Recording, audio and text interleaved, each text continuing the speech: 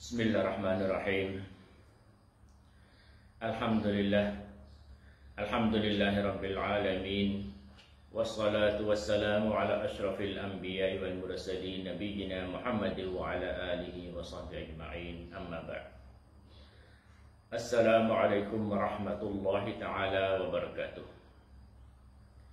បងប្អូនឥស្លាមទាំងអស់ជាទីស្រឡាញ់យើងយើងដឹងហើយថារាល់លៀបសក្ការៈទាំងអស់ ដែលយើងទទួលបាននៅលើទុនយ៉ានេះគឺសិតតែជាការផ្ដល់ឲ្យពីអល់ឡោះហ៊ូស៊ុបហានវតាឡាតែម្នាក់គត់ហើយអល់ឡោះហ៊ូស៊ុបហានវតាឡាទន្ទឹមនឹងការផ្ដល់ឲ្យនៅលៀបសក្ការៈនេះក៏ទ្រង់បានជំរុញសម្រាប់អ្នកដែលទទួលនៅលៀបសក្ការៈពីអល់ឡោះនេះឲ្យចេះធ្វើការបរិច្ចាគទានទៅតាមក្បួនច្បាប់ដែលអល់ឡោះបានកំណត់មកគឺការបរិច្ចាគទាននេះអាច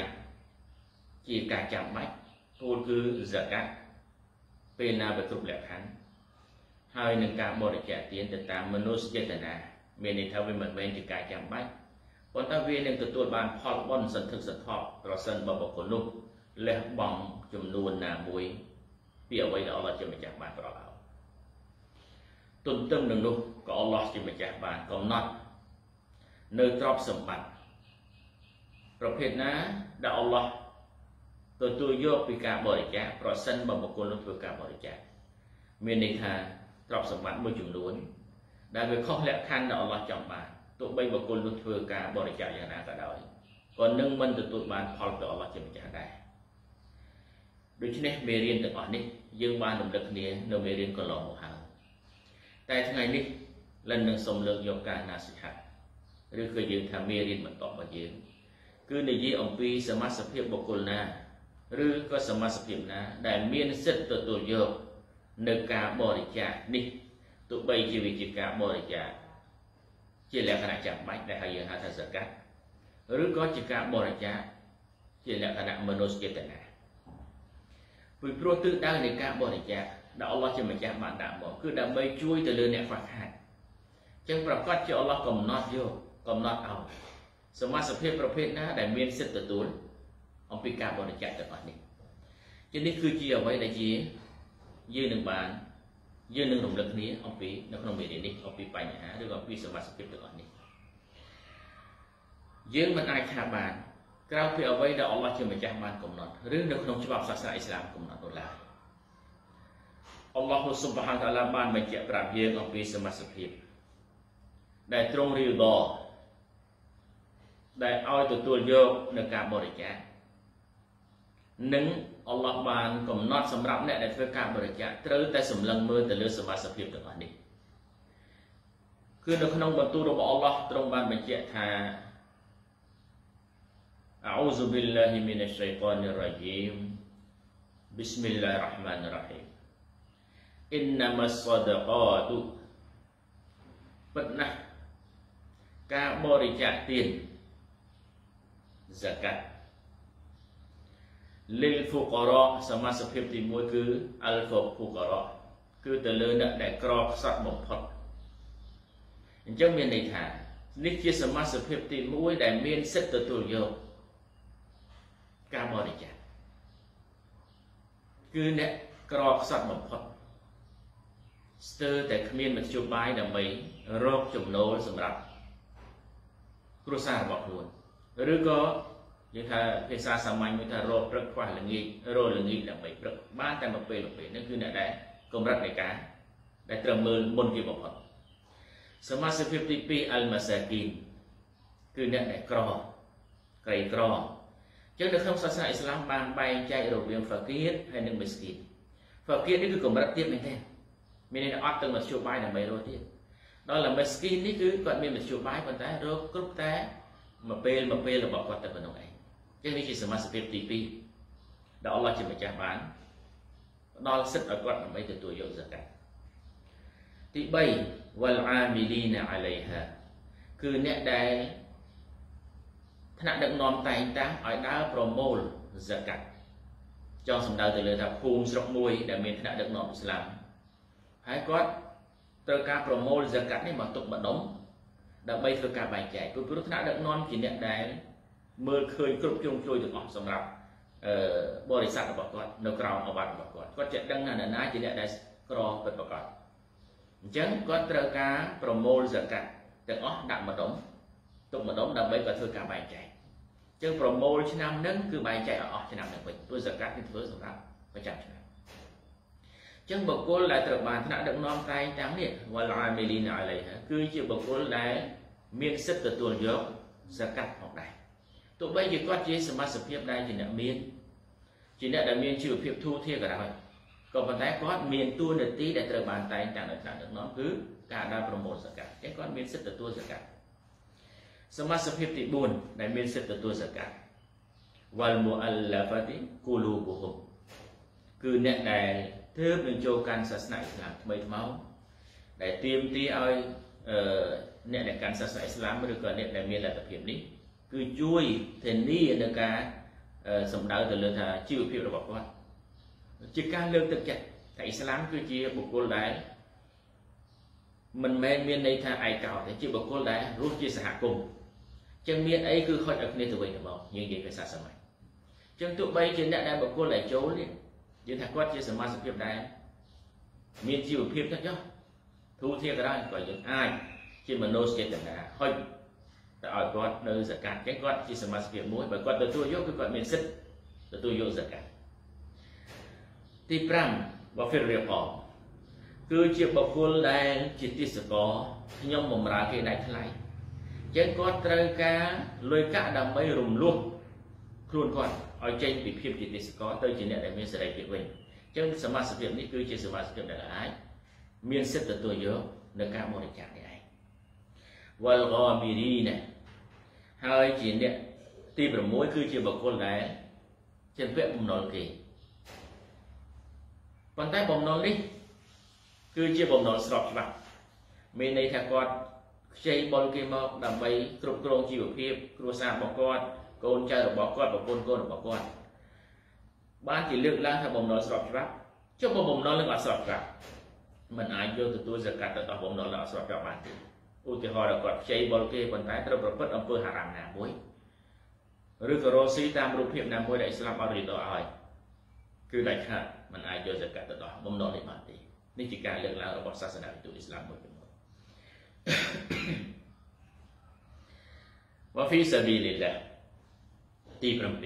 7ជាសមាជិកភាពដែលការពារសាសនាអ៊ីស្លាមមានន័យថាដាក់ខ្លួនដើម្បី ទៅព្រំដែនឬក៏ទៅដើម្បីការពារចង់និយាយថាចូលក្នុងនាមជាអ្នកដែលជាកងទ័ពឬក៏ជាសមាជិកភាពដែលមានតួនាទីជាអ្នកដែលការពារសាសនាអ៊ីស្លាមការពារបងប្អូនអ៊ីស្លាមនៅអំពីសត្រូវដែលមកយាយីចឹងសមាជិកភាពនេះទោះបីជាគ្រួសាររបស់គាត់ធូរធារក៏ដោយប៉ុន្តែក្នុងពេលដែលគាត់ខ្លួនគាត់ដាក់ឈ្មោះឬក៏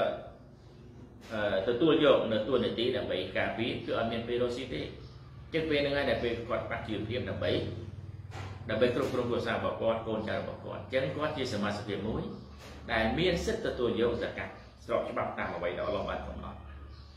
ដែលឡែកសមាជិកភាពទី8ដែលជាសមាជិកចុងក្រោយនៅក្នុងចំនួនអ្នកដែលមានសិទ្ធិទទួលយកការបរិច្ចាគនេះគឺវបនិសាវីគឺជាអ្នកធ្វើដំណើរប៉ុន្តែធ្វើដំណើរនេះគឺដាច់ស្បៀងចង់និយាយថាបុគ្គលខ្លះក៏ធ្វើដំណើរពីតំបន់មួយទៅតំបន់មួយ ដល់ទៅដល់ពាក់កណ្ដាលផ្លូវឬក៏មិនទាន់ដល់ទីគោលដៅរបស់គាត់នេះគាត់អស់សហុយមកដើម្បីបន្តដំណើរទៅមុខទៀតទាំងសហុយធ្វើដំណើរទៅមុខឬក៏ពេលខ្លះខ្វះទាំងសហុយដើម្បីអឺទិញចំណីអាហារសម្រាប់គាត់គង់ខ្លួនប្រាណរបស់គាត់បន្តធ្វើដំណើរអានេះក៏ខ្វះដែរជាងហៅភាសាសម័យថាដៃដៃស្បៀងទៅចិត្តហើយអត់ទាន់ដល់គោលដែរអញ្ចឹងបុគ្គលនេះគឺជាបុគ្គលដែលមានសិទ្ធិទទួលយកនៅការបរិច្ចាគជាហើយសកាត់ ទោះបីជានៅផ្ទះរបស់គាត់ឧទាហរណ៍ថាគាត់ជាក្រុមគ្រួសារអ្នកមានអ្នកណាក៏ដោយប៉ុន្តែក្នុងពេលក្នុងស្ថានភាពដែលគាត់ខ្វះជីវភាពក្នុងពេលដែលកំពុងធ្វើដំណើរនេះគាត់ដាច់ស្បៀងនេះអញ្ចឹងគាត់មានសិទ្ធិទទួលយកប៉ុន្តែទទួលយកមកគ្រប់សម្រាប់បន្តដំណើរទៅដល់គោលដៅរបស់គាត់ឬក៏យើងអាចថាទៅដល់ផ្ទះរបស់គាត់ចឹងកុំសម្លឹងមើលនៅផ្ទះរបស់គាត់តែគាត់ជាអ្នកមានប៉ុន្តែសម្លឹងមើលនៅស្ថានភាពជាក់ស្ដែងដែលគាត់កំពុងតែធ្វើដំណើរបើគាត់ខ្វះខាតគឺយើងអាចហូតសកាត់នេះឬក៏ ផ្ដល់សកាត់នេះទៅឲ្យទៅឲ្យគាត់បានក្នុងសមាជិកទី8នេះចឹងសមាសភាពទាំង8នេះទេដែលអល់ឡោះជាម្ចាស់បានកំណត់ដោយមិនផ្សេងពីសមាសភាពនេះបានទេព្រោះនៅក្នុងការបកស្រាយរបស់អ៊ុលាម៉ាអំពីការតបសៀននៅពាក្យថាអ៊ីនណាម៉ាគឺសំដៅទៅលើថាចំនួនកំណត់ទៅលើនឹងភាសាអារ៉ាប់អល់ឡោះបានបញ្ជាក់បន្ថែមថា faridatan minallah អញ្ចឹង នេះគឺជាកតបកិច្ចដែលអល់ឡោះជាម្ចាស់ដាក់មកចឹងមានទាំងសមាសភាពទាំងរបៀបរបបនៃការបរិច្ចាគនេះគឺទៅមើលសមាសភាពនេះជាបទបញ្ជាពីអល់ឡោះជាម្ចាស់អត់មានអ្នកណាមួយកំណត់បានទេ Wallahu alimun hakim អល់ឡោះស៊ុបហានតាឡាទ្រង់គឺជាអ្នកដែលដឹងហើយជាអ្នកដែលឆ្លាតវាងវៃបំផុតគឺមានកតិបណ្ឌិតបំផុតឯងដូច្នេះវាជាលក្ខណៈគ្រប់គ្រាន់សម្រាប់យើងទាំងអស់គ្នាក្នុងនាមជាអ្នកដែលមានទ្រព្យសម្បត្តិ ការធ្វើការសតសតកនេះទោះបីជារូបភាពនៃការសតកវយឹបដែលយើងហៅថាសកម្មឬក៏ជាសមាសឬក៏ជារូបភាពនៃការសតកក្នុងនាមមនុស្សចេតនាដែលវាមិនមែនជាកតកិច្ចក៏ត្រូវសម្លឹងមើលសមាសភាពទាំងអស់នេះដែរព្រោះទិសដៅដោយយើងលើកឡើងមកដើមថាការបរិច្ចាគនេះដើម្បីសម្រួលចូលរួមសម្រួលដល់អ្នកដែលខ្វះខាតអញ្ចឹងប្រសិនបើយើងមិនមើលទៅតាមការកំណត់មករបស់អល់ឡោះជាម្ចាស់គឺច្បាស់ជា យើងមិនជួយអ្នកខ្វះខាតយើងបែរទៅជាជួយអ្នកដែលគ្រប់គ្រាន់យើងនិយាយភាសាសាមញ្ញថាអ្នកក្រមិនបានទទួលវាទៅជាអ្នកដែលមានជាអ្នកដែលទទួលវិញអញ្ចឹងវាអត់ត្រឹមត្រូវទេដូច្នេះសូមពុំមួយស្នាមទាំងអស់ដែលមានទ្រព្យសម្បត្តិក្នុងការបរិច្ចាគតិចក្តីច្រើនក្តីជាការងារមួយល្អណាស់តែត្រូវមើលទៅលើច្បាប់ពីព្រោះកាលណាយើងធ្វើខុសពីអ្វីដែលអល់ឡោះកំណត់មកយើងអត់ទទួលបានផលបុណ្យពីអល់ឡោះទេខ្ញុំសូមលើកយកអំពី សមាសភាពទាំងអស់ដែលបានទទួលនេះឯងដែលយើងមើលជាក់ស្ដែងនៅក្នុងសង្គមរបស់យើងគឺអញ្ចឹងសមាសភាពនេះខ្លួនឯងគាត់ត្រូវដឹងថាតើគាត់មានសិទ្ធិទទួលយករបស់ដែលជាការបរិច្ចាគទានទោះបីជាសកាត់ដែលយើងទៅប្រុងប្រយ័ត្នបំផុតគឺរបស់សកាត់ដែលជាកតាបកិច្ចនេះឯងមូលហេតុអីពីព្រោះកាលណាអ្នកដែលជាប់សកាត់ចំនួនរបស់គាត់ដែលត្រូវជាប់សកាត់ដែលគាត់ហូតសកាត់នេះឧទាហរណ៍ថា បុគ្គលម្នាក់គាត់មានទ្រព្យសម្បត្តិដល់អល់ឡោះប្រោជាគាត់សល់រហូតដល់គាត់ចំនួនសកាត់គាត់ដែលត្រូវហូតឧទាហរណ៍1000ដុល្លារជាងក្នុង1000ដុល្លារនេះប្រសិនបើគាត់ដាក់ទៅខុសក្នុងសមាសភាពនេះដែលអល់ឡោះបានកំណត់មកនេះគឺសកាត់របស់គាត់គឺខ្វះឥឡូវឧទាហរណ៍ថាគាត់ជ្រើសរើសអ្នកដែលក្រីក្រនិងអ្នកដែលខ្វះខាតដែលសិតទៅជាសមាសភាពដែលទទួលបាននេះ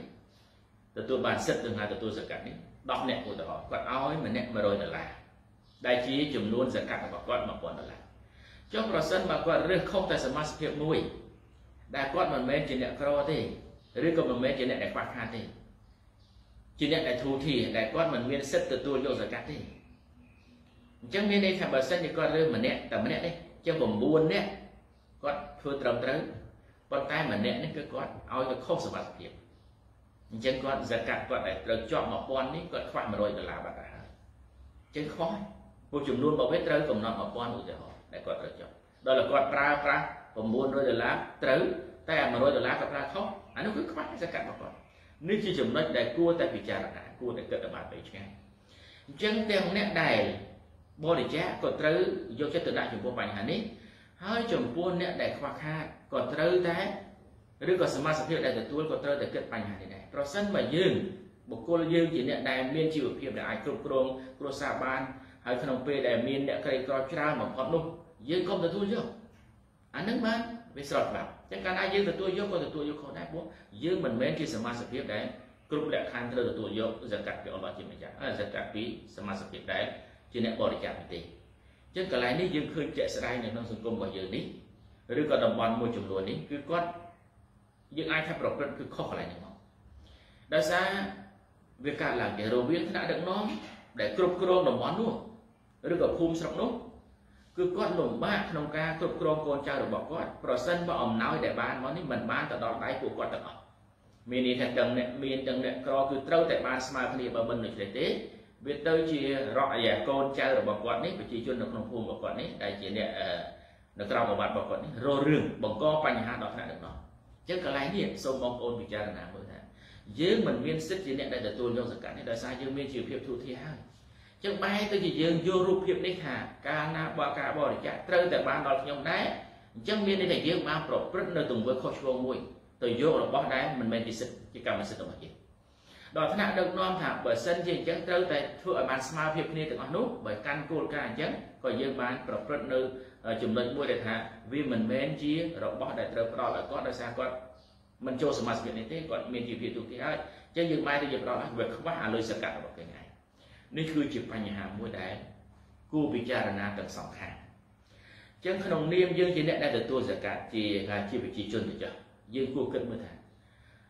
របស់ទាំងអស់នោះពេលខ្លះវាមិនស័ក្តិសមនឹងគាត់ទេព្រោះគាត់វាមានវាបានមានគាត់ប្រើប្រាស់ឬក៏គាត់ហូបចុកចំណីអាហារវាខ្ពស់ពីអ្វីដែលគេចែកទៅទៀតប៉ុន្តែនៅក្នុងចិត្តរបស់គាត់នេះគាត់ថាត្រូវតែបានមកលើគាត់ពេលខ្លះគាត់មិនមែនយកមកហូបទេគាត់យកមកដើម្បីឲ្យអ្នកដទៃអញ្ចឹងបើសិនជាយើងយកមកដើម្បីឲ្យអ្នកដទៃដដែលយើងទុកឲ្យគេរៀបចំទៅលើផ្លូវត្រូវនេះកាន់តែពិសាហេតុអីបានយើងយកមកធ្វើឲ្យមានកំហុសសិនហើយយើងអត់អត់ហូបដដែលយើងអត់ប្រើប្រាស់ដដែលនេះគឺជារឿងពិតជារឿងពិតដូច្នេះសូមឲ្យពងអ៊ីស្លាមយើងពិចារណាចំពោះបញ្ហានេះបើមិនដូច្នេះថ្នាក់ដឹកនាំនៅតាមភូមិគឺមានការលំបាកខ្លាំងណាស់បើបងប្អូនយកហេតុផលថាបើសិនជាមិនឲ្យ lên ទេចឹងថ្ងៃក្រោយចង់មកកាត់ឬក៏ចង់រីលុយរីអីក៏រីតែអ្នកក្រហ្នឹង អានេះគឺហាក់បីដូចជាយើងបានដាក់ខ្លួនវិញទៅលើផ្លូវខុសមួយហើយ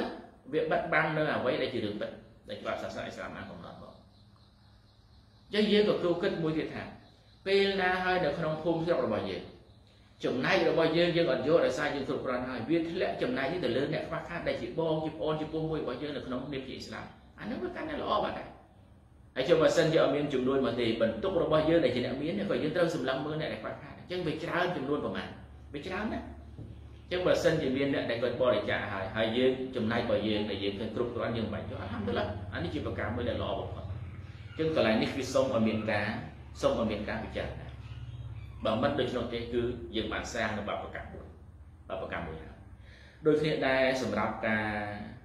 អ្នកដែលបរិច្ចាគសូមព្រោះការបរិច្ចាគនេះយើងចង់លើកស្ទួយឬក៏យ៉ាងជួយជីវភាពអ្នកដែលខ្វះខាតអញ្ចឹងសូមមើលឲ្យបានឆ្ងាយ ចង់សម្ដៅទៅលើថាអ្នកខ្លះគឺបរិច្ចាគទៅតាមខ្សែទៅតាមពូជទៅតាមតំបន់កន្លែងខ្លះហ្នឹងគឺចែកមិនមិនមិនគេហៅថាស្ទើរតែគ្មានពេលលុះទេដោយសារវាមានខ្សែវាមានពូជមានអីចឹងទៅអានេះមិនមែនជារឿងរូបភាពមួយដែលយើងធ្វើអំពើល្អគ្រប់ជ្រុងជ្រោយនោះទេយើងគួរតែសម្លឹងមើលចែករំលែកវាតែចែករំលែកជួនកាលតំបន់របស់យើងនេះអ្នកចែកច្រើនហើយយើងអាចទៅមើលអ្នកឆ្ងាយផ្សេងទៀតព្រោះគាត់ខ្វះខាតហើយមិនមែនថា ធ្វើជាមួយអ្នកក្រីក្រនៅតំបន់ផ្សេងដែលមិនមិនមែនជាតំបន់ដូចជាមូលដ្ឋានរបស់ខ្លួនអត់បានប៉ះឡើយណាបានប៉ះឡើយពីអល់ឡោះជាម្ចាស់អល់ឡោះជាអ្នកកំណត់ឲ្យអល់ឡោះជាប្រដឡើយប៉ុន្តែការដែលយើងសង្កេតឃើញនៅពេលអាគិតតមិននេះគឺយើងនិយាយភាសាសាមញ្ញថាវាទៅតាមខ្សែទៅតាមពូជដែលវាមិនមែនជាអ្វីដែលអល់ឡោះប្រកបប្រាំទេដូច្នេះត្រូវសម្លឹងមើលឲ្យបានវែងឆ្ងាយបើមិនដូច្នោះទេការគ្រប់គ្រងមួយនឹងត្រូវបានអល់ឡោះសួរនៅថ្ងៃកិយាម៉ាត់ ព្រោះវាជាការគ្រប់គ្រងមួយដោយខ្វះភាពយុត្តិធម៌ភាពខ្វះភាពការសម្លឹងមើលឲ្យបានគ្រប់ជ្រុងជ្រោយចំណុចនេះគឺក្នុងពេលដែលពេលខ្លះយើងមានលុយមានកាក់ដើម្បីធ្វើការបរិច្ចាគប៉ុន្តែបែរទៅជាយើងបានសាងបាបកម្មនៅក្នុងក្នុងរូបភាពនេះផងដែរដូច្នេះឡើងជឿជាក់ថាគ្មាននរណាមួយចង់សាងបាបកម្មក្នុងពេលដែលខ្លួនចង់ធ្វើធ្វើបាបឡើងទៅទៀតចឹងត្រូវពិនិត្យមើលលក្ខណៈច្បាស់ត្រូវពិនិត្យមើលឲ្យបានវែងឆ្ងាយដែលជាពិសេសនៅអខិលសមានេះ ពីព្រោះមនុស្សម្នាក់ម្នាក់គឺចង់បានណាចង់បានណាប្រសិនបើយើងដាក់ខាងសួរថាតក់មីមីខ្វះខាតដែរទេគ្មានអ្នកណាមួយឆ្លើយថាមិនខ្វះខាតទេនៅកម្ពុជាបាទត្រូវតែឆ្លើយតែខ្វះអានេះខ្វះទាំងអស់ឯងប៉ុន្តែបើយើងមើលជាក់ស្ដែងគឺគាត់មិនមានខ្វះអ្វីមួយខ្វះទេដោយសារជីវភាពរបស់គាត់ខ្ពស់ខ្ពស់ហើយចឹងកន្លែងនេះគឺអ្នកដែលមានឬក៏ដូចម្ដេចដែលហៅថាអ្នកមានឬក៏ដូចម្ដេចដែលហៅថាអ្នកក្រក្នុងក្នុង ការកំណត់ច្បាប់រដ្ឋស្លាមគឺលំបាកណាស់គឺលំបាកណាស់គ្មានអ្នកណាមួយយកថាវាមានដែនកំណត់ណាមួយត្រឹមបុគ្គលណាដែលហៅថាអ្នកមានហើយត្រឹមបុគ្គលណាគេហៅថាអ្នកក្រអញ្ចឹងបុគ្គលសមាសភាពនៅខ្លួនឯងប្រជាជននៅខ្លួនឯងជាអ្នកដែលដឹងថាខ្លួនមានរបស់របរតិចប៉ុណ្នេះហូបបានប៉ុណ្នេះអានេះគឺគាត់ថាគាត់គ្រប់គ្រាន់សម្រាប់គាត់អានេះគាត់មានទេសម្រាប់គាត់តែអ្នកខ្លះរហូតដល់មានបានឬក៏សម្បូរសម្បត្តិដែលយើងមើលឃើញជាក់ស្ដែងនេះ គោប៉ុន្មានក៏ដោយតែគាត់នៅតែថាគាត់អ្នកក្រអញ្ចឹងយើងមិនអាចវាយតម្លៃថាគាត់ជាអ្នកក្របានទេជាក់ស្ដែងណាអញ្ចឹងទៀមទីឲ្យអ្នកដែលមានជំនឿចំពោះអល់ឡោះស៊ុបហានតាឡាជាម្ចាស់ជាអ្នកដែលកំណត់ឬក៏មានជំនឿនឹងខ្លាចនៅអ្វីដែលអល់ឡោះបានកំណត់មកដោយទ្រង់ជាម្ចាស់អានឹងបានយើងអាចងាយក្នុងការគ្រប់គ្រងហើយងាយងាយនឹងការជិះផុតអំពីអំពីបាបកម្មដែលអល់ឡោះជាម្ចាស់បានបានត្រៀមទុកសម្រាប់អ្នកដែលបំពេញទៅលើច្បាប់របស់អល់ឡោះស៊ុបហានតាឡា យើងសូមទៅអល់ឡោះស៊ុបហានតាឡាអល់ឡោះប្រោរិទ្ធទីឲ្យច្រើនច្រើនសម្រាប់អ្នកធ្វើដែលធ្វើការបរិច្ចាគហើយសូមអល់ឡោះជាម្ចាស់លើកស្ទួយជីវភាពសម្រាប់អ្នកដែលខ្វះខាតនៅក្នុងសហគមន៍នីមួយៗជាពិសេសគឺបងប្អូនអ៊ីស្លាមរបស់យើងហើយសូមអល់ឡោះទទួលយកផលបុណ្យពីអ្នកដែលធ្វើអំពើល្អ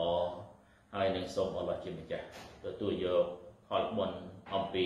អ្នកដែលធ្វើអំពើល្អទុកបីទីក្តីច្រើនក្តីនៅក្នុងបុព្វហេតុដែលអល់ឡោះជាម្ចាស់បានបង្កប់ប្រើ ដែលជាពិសេសគឺនៅក្នុងខែរ៉ម៉ាឌននេះឯង هذا وصلى نبينا محمد وعلى آله وصحبه أجمعين السلام عليكم ورحمة الله تعالى وبركاته